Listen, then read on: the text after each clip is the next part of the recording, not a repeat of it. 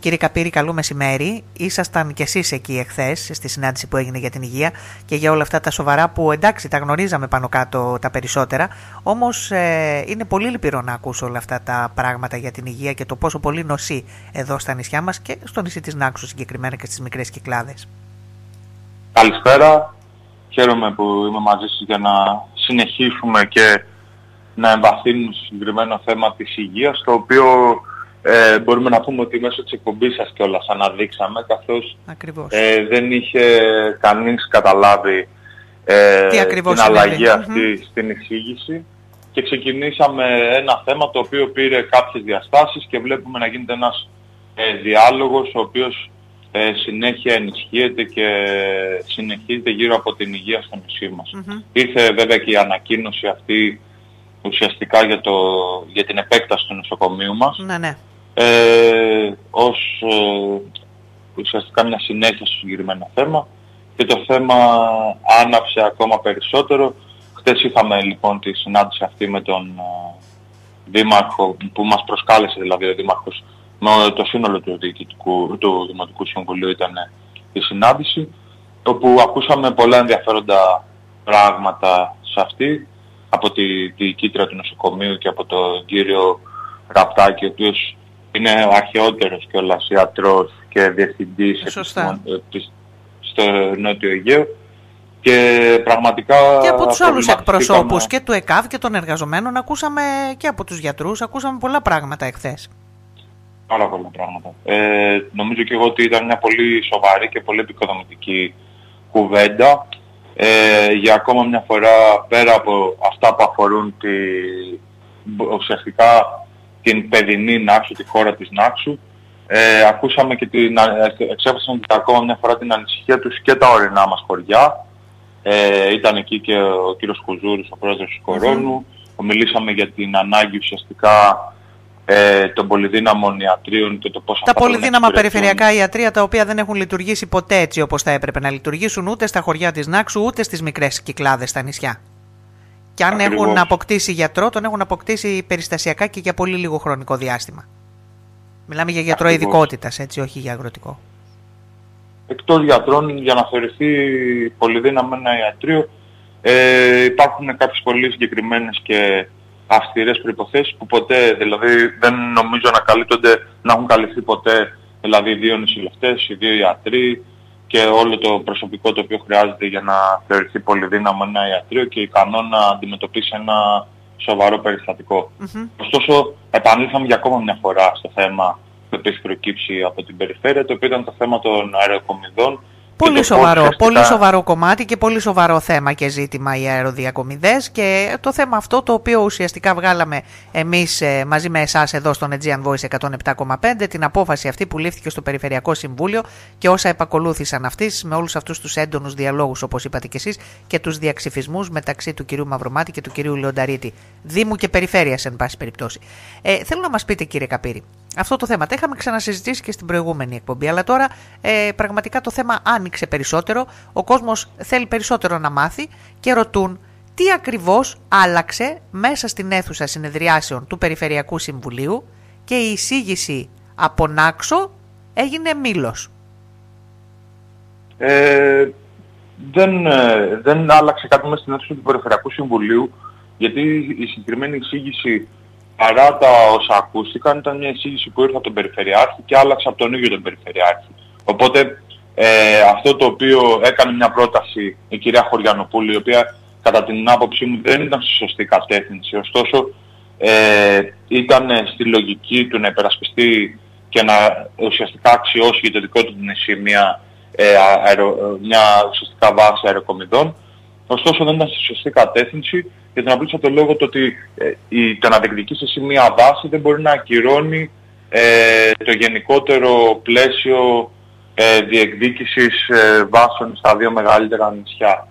Ε, οπότε ο Περιφερειάρχης από μόνος του αποφάσισε την τροποποίηση Άρα λοιπόν ήρθε, να, να, τα βάλουμε σημασία, ήρθε το θέμα στο Περιφερειακό Συμβούλιο, ακούστηκε η εισήγηση, ε, αμέσως μετά μίλησε η κυρία Χωριανοπούλου, είπε ότι ε, γιατί να γίνει στην Άξο και να μην γίνει στη Μήλο για αυτούς και αυτούς τους λόγους που είμαστε απομακρυσμένοι, ε, που δεν έχουμε πλωτά κτλ.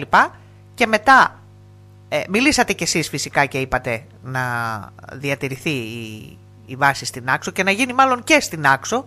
Δεν μπορεί κανείς να Όχι, πει μη εγώ αυτό που είπα είναι ότι δεν, ακριβώς αυτό το οποίο ζητώ και εσάς. Ότι ουσιαστικά δεν βλέπω κάποιο λόγο το να μην διεκδικήσουμε μία ακόμα, εφόσον κιόλας δεν έχουμε ναι, ναι, ναι, ναι. Αρμοδιότητα και δεν είναι ότι έχει έρθει το συγκεκριμένο πλάνο με έναν προπολογισμό ή με μια σοβαρή μελέτη η οποία να στοιχαθετεί και να λέει ότι πρέπει να γίνουν οι συγκεκριμένες βάσεις και είναι ουσιαστικά μια διεκδίκηση. Η διεκδίκηση μπορεί να επεκταθεί και να πούμε ότι λόγω της γεωγραφικής ιδιομορφίας των, ειδικά των κυκλάδων, ε, είναι απαραίτητη ακόμα μια βάση. Να διεκδικήσουμε τρεις δηλαδή σύνολο, κάτι το οποίο απορρίφθηκε από ό,τι κατάλαβα. Ναι, απορρίφθηκε λόγω της εγκύτητας ε, της Νάξου με τη Σύρο, που όποιος έχει δυστυχώς χρειαστεί να διακομιστεί στη Σύρο, γνωρίζει πάρα πολύ καλά πως αυτή η εγκύτητα ε, είναι δύσκολο να ουσιαστικά προσπεραστεί γιατί έχουμε μια θάλασσα, ένα πέλαγος ανάμεσά μας το οποίο δυστυχώς ε, όποιος έχει προσπαθήσει να το διαβεί και να φτάσει στο νοσοκομείο της Σύρου έχει ταλαιπωρηθεί πάρα πάρα πάρα πολύ. Καλά, το δηλαδή- μόνο σίγουρο είναι ότι όλα τα νησιά θα χρειαζόντουσαν βάσεις αεροδιακομιδών, κακά τα ψέματα. Ε, αυτό, δεν είναι εφικτό να, αυτό δεν είναι εφικτό να γίνει σίγουρα. Ε, όμως ε, το να έχουμε δύο βάσεις αεροδιακομιδών στις Κυκλάδες, ε, η μία να είναι στη Μήλο και η άλλη να είναι στη Σύρο, πέστε μας εσείς πώς το βλέπετε από την πλευρά σας, με το χέρι στην καρδιά; Δεν, ε, όπως είπα και στην αρχική μου τοποθέτηση, εγώ δεν το βλέπω ουτοπικό τα δικά μας νησιά των Κυκλάδων αλλά και τα Δωδεκάνησα να αποκτήσουν όλα βάσεις ελικοπτέρων. Μάλλον είναι και το προσφορότερο αν φανταστεί κανείς το κόστος δημιουργίας και συντήρησης ε, σοβαρών ε, ιατρικών μονάδων πρωτοβάθμιας υγείας. Θα έρθουν, θα δηλαδή έρθουν να εδρεύουν στα νησιά 30 ελικόπτερα σε κάθε νησί και ένα ελικόπτερο; Αυτό, αυτό, δεν το, αυτό δεν μπορούμε να το πούμε έτσι πρόχειρα. Αλλά μπορεί να γίνει μια οικονομική μελέτη όπου να εκτιμήσει το κόστος ουσιαστικά δημιουργίας ε, σοβαρών πρωτοβάθμιων μονάδων υγείας και σοβαρών βάσεων ε, ουσιαστικά αεροκομιδών. Μπορεί να μην είναι 30 τελικόπτερα, αλλά μπορεί να δημιουργηθούν οι συνθήκες ε, για να υπάρχουν σε κάποια ε, νησιά κλειδιά τα ελικόπτερα και από εκεί και πέρα σε όλα τα νησιά να υπάρχουν σοβαρές ε, βάσεις, ουσιαστικά ελικοδρόμια ε, που να επιτρέπουν την προσγείωση και υπό τις καιρικές συνθήκες που όλοι γνωρίζουμε στις κυκλάδες ναι, των, ε, των ε, ελικοπτέρων και τη διακομιδή των ασθενών μέσα σε ελάχιστο χρόνο από το ένα νησί στο, σημείο, στο νησί κλειδί όπου θα αντιμετωπιστεί το περιστατικό ή ακόμα και στην Αθήνα. Οπότε αυτή τη στιγμή, όπως πολύ καλά το γνωρίζουμε όλοι μας όπου έχουμε ζήσει στην Άξο, ε, το, το πλάνο έτσι όπως είναι των αεροκομιδών είναι ασύμφορο θεωρώ και για το κράτος αλλά και για τον πολίτη. Γιατί είμαστε πολίτες β' κατηγορίας στο θέμα της υγείας ειδικά. Ε, γιατί αυτή τη στιγμή κούρια η ώρα κάποιος πάθει κάτι, πρέπει να σταθεροποιηθεί ουσιαστικά το περιστατικό από το, από το νοσοκομείο της ναξου να μεταφερθεί στο αεροδρόμιο της Νάξου που θα έρθει κατά πάσα πιθανότητα ένα πολεμικό αεροπλάνο ε, ένα, ένα αεροπλάνο ουσιαστικά της πολεμικής αεροπορίας ή της αεροπορίας στρατού να μπει μέσα και να μεταφερθεί στην Ελευσίνα, όπου από την Ελευσίνα θα τον πάρει άλλο ασθενοφόρο να το μεταφέρει σε νοσοκομείο στο κέντρο της Αθήνας. Ναι. Και ρωτάω εγώ, είναι το στρατιωτικό αεροπλάνο κατάλληλο μέσο αεροκομιδής ενός ανθρώπου με βαρημένη υγεία; Προφανώς και δεν είναι. Όποιος έχει Καλά, υπηρετήσει θητεία ή όποιος δεν έχει υπηρετήσει και έχει βρεθεί στη δυσάρεστα αυτή θέση, έχει να εξιστορήσει μια ιστορία με τον ε, πολύ βαρύ ήχο τον οποίο έχει, τις καιρικές συνθήκες. Καλά, εδώ παρακαλάμε να έρθει αεροπλάνο και ας είναι ό,τι αεροπλάνο να είναι. Ελικόπτερο και ας είναι ό,τι ελικόπτερο να είναι. Άμα έχουμε ανάγκη. Είναι και, αυτή, μια στενάχωρη Αλλά θα πρέπει, κάποια στιγμή, θα πρέπει κάποια στιγμή να τα κοιτάξουν όλα αυτά τα θέματα οι κυβερνώντες. Δεν έχουν καταφέρει μέχρι σήμερα να το λύσουν αυτό το θέμα. Όπως δεν έχουν καταφέρει να ε, λύσουν και πολλά θέματα ακόμη. Οπότε δεν είναι το θέμα το αν μπορούμε να έχουμε 30 ελικόπτερα. Το θέμα είναι να καθίσουμε να δούμε πόσα ελικόπτερα μπορούμε να έχουμε. Ναι. Και 4-5 σημεία όσα κρίνει αυτή η μελέτη η οποία πρέπει να γίνει να έχουν σοβαρό ε, ουσιαστικά πτυτικό μέσο, ικανό και άξιο για τη μεταφορά τη, ενός ασθενούς για να μεταφερθεί και να λάβει τη φροντίδα την οποία χρειάζεται. Και αυτό το οποίο σχολιάστηκε και να ξέρετε ότι εμένα εγώ εντυπωσιάστηκα από όλες τις πλευρές οι οποίες ε, από το πώς διαχειρίζονται μια κατάσταση και πώς βγαίνουν μπροστά όταν κάτι είναι υπέρ τους αλλά και το πώς ε, δεν έχουν την ευθύνη όταν κάτι είναι κατά τους. Δηλαδή, ε, όταν ε, κάνουμε μια πρόταση, εμείς υπερασπιστήκαμε τα, τις, ουσιαστικά τα δικαιώματα των κυκλαδιτών και τα δικαιώματα των, των πολιτών, ας πούμε, των δυτικών κυκλάδων και της Μήλου. Όταν χάνουν οι πολίτες της Νάξου το, τη συγκεκριμένη πρόταση και δεν γίνεται πρόταση να γίνει ουσιαστικά η βάση ρεκομεδών στη Νάξο, λέμε «Α, ξέρετε, δεν ήταν αποφασιστικό, ήταν γνωμοδοτικό, οπότε μην το λαμβάνετε και τόσο υπόψη». Ε, όταν πρέπει ψήφισμα, δηλαδή... Ψήφισμα ε, δεν ήταν αυτό, ένα ψήφισμα δεν ακριβώς, ήταν. Ναι. Ακριβώς. Απλά υποβαθμίζουμε, υποβαθμίζουμε ουσιαστικά αυτό το ψήφισμα, αυτή τη γνωμοδοτική ουσιαστικά δυνατότητα που δίνεται στην περιφέρεια ε, λέγοντας ότι εντάξει μωρέ τώρα είναι αξίωση επειδή δεν, φαγεί, επειδή δεν προτείναμε εσάς, μην το, μην το σκέφτεστε, μην, μην το λαμβάνετε σοβαρά υπόψη. Όχι. Ε, οι ναξιώτες καλά κάνουν και έχει όλο αυτό το θέμα δυναμητήσει ουσιαστικά το κλίμα και μεταξύ ε, Δήμου και Περιφέρειας γιατί είναι ένα θέμα που τους αφορά άμεσα. ο κάθε ναξιώτης και πόσα ε, παιδιά της ε, ηλικίας μου που αυτή τη στιγμή δημιουργούν οικογένειες, το πρώτο πράγμα που σκέφτονται είναι θα πάω να μείνω στην άξια, θα γυρίσω πίσω στους γονείς μου και πώς αν πάθει κάτι το παιδί μου θα, θα καταφέρει να μεταφερθεί έγκαιρα σε πλησιέστερο και καλύτερο νοσοκομείο των Αθηνών ενώ στα νοσοκομεία παιδών που έχει η Αθήνα. Ε, οπότε είναι μια συζήτηση διαχρονική και αυτό το οποίο είπα και χθες στο Δημοτικό Συμβούλιο είναι ότι ε, έχουμε μια διαφορά γενναιών. Και τι εννοώ. Η δικιά σας η γενιά, είπα, ε, των μεγαλύτερων, ζήσατε την εποχή του 81-83, δημιουργίας του ΕΣΥ, της διεκδίκησης και ουσιαστικά της θεμελίωσης όλων αυτών των πρώτων έργων και της δημόσιας και ουσιαστικά επαρκούς δημόσιας περίθαλψης και υγείας. Εμείς έχουμε, δει, έχουμε ζήσει, είμαστε μια γενιά η δικιά μας, το έχουμε δει όλα αυτά σιγά σιγά να καταραίουν και να καταστρέφονται. Και τι εννοώ. Ε, εννοώ ότι έχουν μείνει είτε στάσιμα, οπότε έχουν αρχίσει και μαραζώνουν όποια προσπάθεια έχει γίνει δημιουργία σοβαρών πρωτοβάθμιων δομών υγείας, είτε ε, αυτή τη στιγμή είμαστε και σε σημείο ε, προγενέστερο από αυτό το οποίο είχαμε καταφέρει να φτάσουμε πριν κάποια χρόνια. Και τι εννοώ. Ε, το νησί της Μήλου από ό,τι άκουσα, γιατί δεν έχω, η αλήθεια είναι ότι δεν έχω καταφέρει, προφανώς και επειδή δεν είναι δικιά μου εκλογική περιφέρεια, αλλά θα ε, εντρυφθεί στο συγκεκριμένο θέμα, έχει μόλις έναν ιατρό. Δηλαδή, ναι, ναι. προφανώς και δεν μπορεί κανείς να πει το νησί της Μήλου να μην έχει ε, ε βάση αεροκομιδών, ωστόσο μπορεί, για να καταλάβουμε και την προχειρότερα, την προχειρότερα της συγκεκριμένης πρότασης, μπορεί να έχει βάση αεροκομιδών εφόσον ε, δεν έχει ικανό ιατρικό προσωπικό για να ανταπεξέλθει. Και όχι μόνο αυτό, δεν υπάρχει, και, δεν υπάρχει και βάση ανεφοδιασμού των ελικοπτέρων ε, στη Μήλο. Οπότε καταλαβαίνετε αυτό που είπαμε από την πρώτη στιγμή εμείς εδώ πέρα, ναι, ναι. προχειρότητα της συγκεκριμένης ε, ε, τροποποίησης. Τώρα δεν ξέρω για ποιο λόγο ε, ο κύριος Χαντιμάρκος, ο οποίος θεωρώ ότι γνωρίζει αρκετά καλά μετά από τόσα χρόνια τα νησιά, ε, έχει προβεί συγκεκριμένη πρόταση.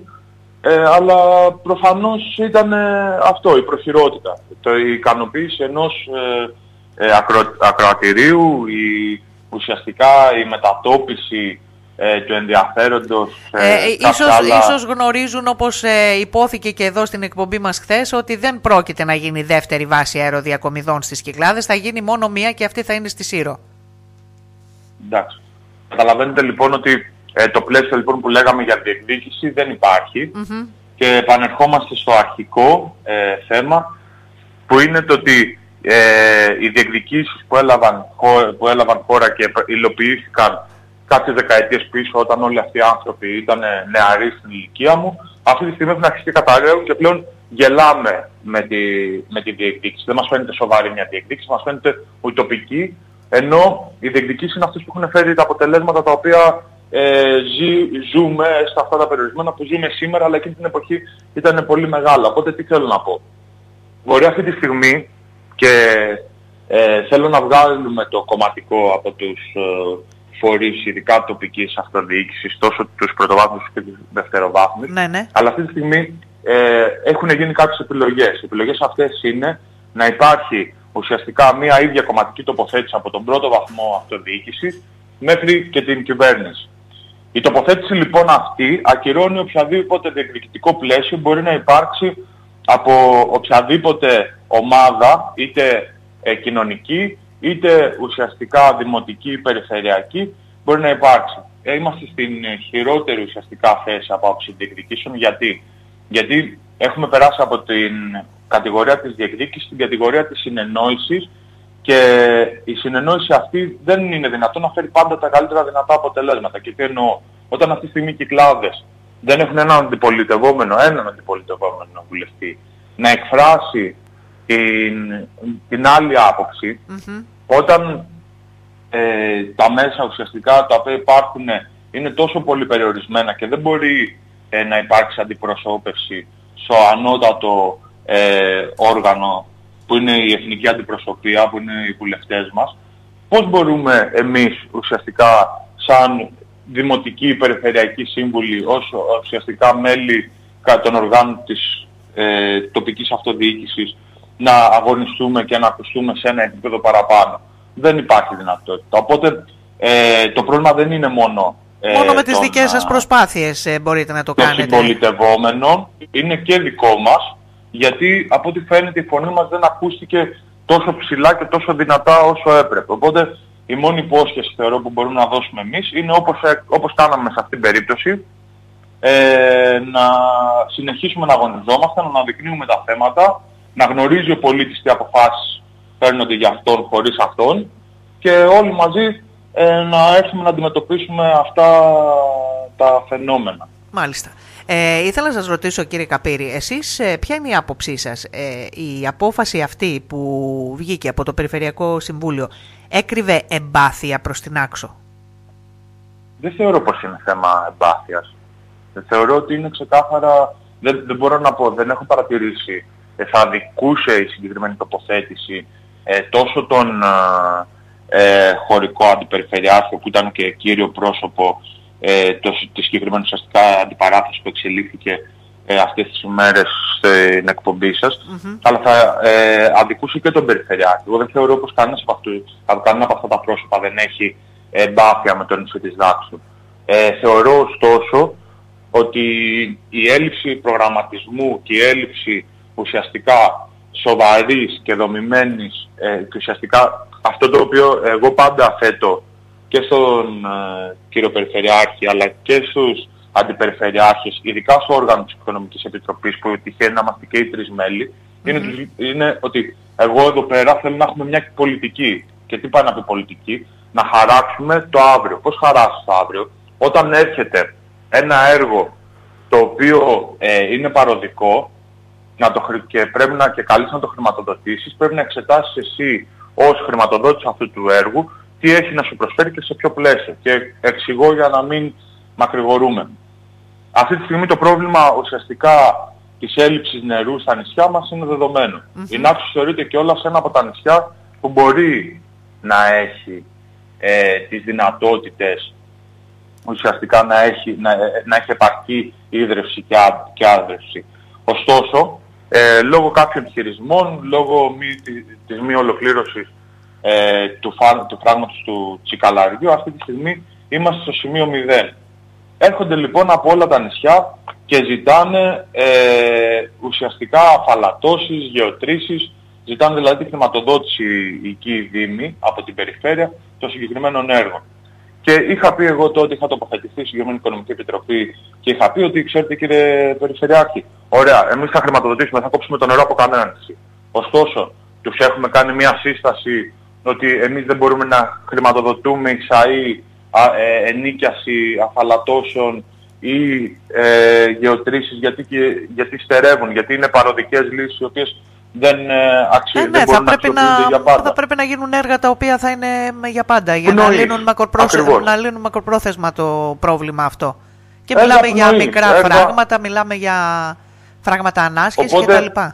Τι θεωρώ ότι λείπει από τη συγκεκριμένη περιφερειακή αρχή. Το όραμα. Η πολιτική ουσιαστικά η οποία θα, κάνει την, θα υποδεικνύει στους συνεργάτες της του πρώτου βαθμού αυτοδιοίκησης το πώς πρέπει να λειτουργούν ώστε σε ένα ευρύτερο πλαίσιο όλων των νησιών μας να έχουμε τα καλύτερα αποτελέσματα. Γιατί δεν είναι ένα στοίχημα το νερό το οποίο μπορεί να το κερδίσει μόνη της η Πάρος, μόνη της η Μήλος, μόνη της η Νάσος. Ναι, καλά, σίγουρα. Πρέπει να σταθεί δίπλα της η περιφέρεια. Και ε, από την άλλη πλευρά πάλι, μιλώντας και με τον κύριο Λεονταρίτη, λέει ότι ε, και οι Δήμοι είναι αυτοί οι οποίοι θα πρέπει να έχουν το δικό τους όραμα και να κάνουν τις προτάσεις τους. Και όταν οι Δήμοι κάνουν τις προτάσεις τους και υπάρχει συνεργασία και με την περιφέρεια, τότε μπορεί να χρηματοδοτηθούν ε, τέτοιου είδους έργα για τα οποία συζητάμε. Δεν γνωρίζω τι γίνεται πίσω από τις ε, κλειστές πόρτες και δεν γνωρίζω για ποιο λόγο υπήρξε τέτοια ένταση μεταξύ των κατά τα άλλα αλληλοψηφισάντων ε, είναι, είναι μια ε, κολόνια που, είναι, και περιφερειακών Είναι μια κολόνια που κρατάει χρόνια. Έχει ξεκινήσει από τον Φόδζα και την ίδρυση του Φόδζα και συνεχίζεται. Έχει, ε, συνεχίστηκε με τις αθλητικές, ε, με αθλητικά έργα και ε, Υπάρχει ακόμη αυτή η φλόγα που σιγοκαίει από ό,τι φαίνεται και με το παραμικρό παίρνει φωτιά. Ε, θέλω να σας ρωτήσω Οπότε και κάτι... αντιλαμβανόμαστε την κομματική σύνδεση, δηλαδή ότι τα κριτήρια ενδεχομένως και να είναι εν τέλει κομματικά ε, της ψηφοφορίας και δεν μπορώ να καταλάβω κάτι άλλο το οποίο ε, ουσιαστικά αυτό που έχει εγκαλέσει επί δύο ε, τετραετίες ταυτόχρονα να έρθει να τον επιβραβεύεις με στήριξη Οπότε καταλαβαίνουμε και τα προβλήματα της ε, ουσιαστικά μονοδιάστατης πολιτικής η οποία ασκείται αυτή τη στιγμή ε, στην Ελλάδα. Έτσι. Ναι, θέλω να ρωτήσω και κάτι τελευταίο πριν κλείσουμε κύριε Καπύρη. Ε, άκουσα χθες τον κύριο Φραγκίσκο κατά την ε, συνάντηση που έγινε για την υγεία να λέει ότι όλο αυτό ήταν ένα ρουσφέτη για την έπαρχο της Μήλου. Παρ' όλα αυτά όμως η παράταξή του το ψήφισε. Εσείς τι άποψη έχετε γι' αυτό; Δεν, ε, ένα ρουσφέτ, δεν ξέρω τώρα, σας, όπως είπα και χθες, Έτσι είπε, η κυρία η έπαρχος της Μήλου τυχαίνει να είναι και συντοπίτη Σάμας, ναι, από την Κομιακή. Δηλαδή. Δεν μπορώ να καταλάβω λοιπόν ε, τι είδους ρουσφέτη μπορεί να αποτελούσε αυτό ή τι ξέρει ο κ. Φραγκίσκος.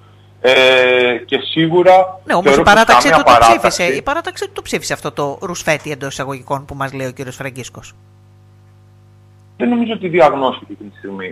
πραγματικά κύλησε μια συζήτηση η οποία εντάξει υπήρξε μια ε, διαφορετική μια διάσταση απόψεων μεταξύ εμού και του κυρίου ε, Λεονταρίτη η οποία δεν ήταν ε, σε προσωπικό επίπεδο τουλάχιστον από πλευράς μου ήταν σε επίπεδο πολιτικής και ουσιαστικά διεκδίκησης από πλευράς του εντάξει ε, χαρακτήρισε αυτό το έτσι όπως τοποθετήθηκα τοπικιστική τοποθέτηση αλλά δεν, υπήρξε, δεν μπορούσε κανείς θεωρώ να καταψηφίσει ναι τη διεκδίκηση. Δηλαδή φανταστείτε τώρα να έχεις μια ε, περιφερειακή αρχή η οποία είναι περιφερειακή αρχή στηριζόμενη από τη Νέα Δημοκρατία να κάνει διεκδικητικό ψήφισμα ουσιαστικά να ζητάει την κυβέρνηση να επεκτείνει την, ε, τη βάση και να, το σχέδιο αυτό για τις βάσεις και σε άλλα νησιά και να έρθουν τα κόμματα το, το ουσιαστικά ναι, τα ναι. κόμματα, οι παρατάξεις των άλλων χώρων και να πούνε ότι όλοι δεν θα διεκδικήσεις, ναι, ναι. Ε, γιατί αυτό που κάνεις είναι ρουσφέτη.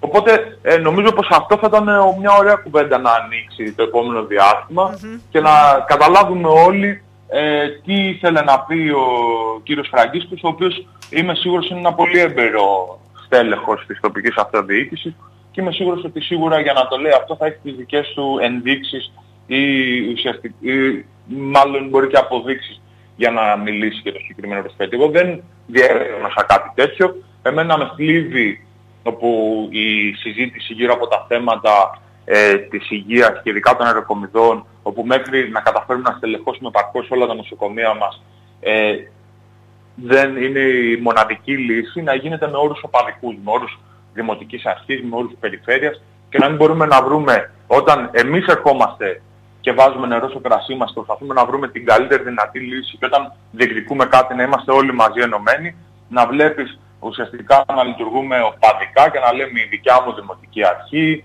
η δικιά μου ε, περιφερειακή αρχή και να ναι. προσπαθούμε να βρούμε ε, ποιος έχει κάνει τα περισσότερα σε κάτι που όποιος και αν κάνει το οποιοδήποτε, βάλει και το μικρότερο δυνατό λιθαράκι, ε, θα είναι προς όφελος όλων μας γιατί τα προβλήματα υγείας είναι κάτι το οποίο δεν μπορεί να το γνωρίζεις και ανα πάσα στιγμή μπορεί να το χρειαστείς. Ειδικά το μέσα ροκομιδί. Μάλιστα. Λοιπόν, κύριε Καπύρη, θέλω να σας ευχαριστήσω θερμά που ήσασταν μαζί μας, ε, να ευχηθώ καλό τρίμερο. Γιατί Και εγώ έρχεται σας και το ευχαριστώ. τρίμερο της Καθαράς Δευτέρας. Επίσης, Να είστε Να είστε καλά, θα καλά. είμαστε εδώ και θα τα λέμε. Γεια σας. χαιρετώ, γεια σας.